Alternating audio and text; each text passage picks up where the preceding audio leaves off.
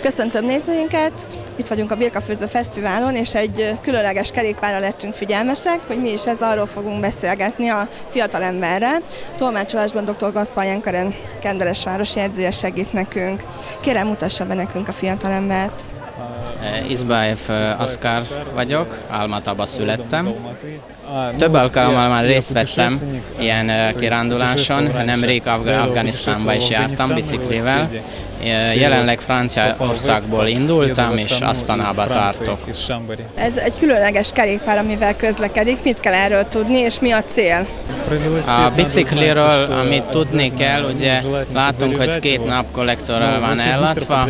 A lényeg, hogy folyamatosan tölteni kell, és így lehetőséget ad ilyen 130 kilométert teljesíteni.